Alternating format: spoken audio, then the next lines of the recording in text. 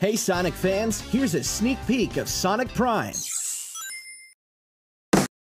We hope you enjoyed that sneak peek of Sonic Prime.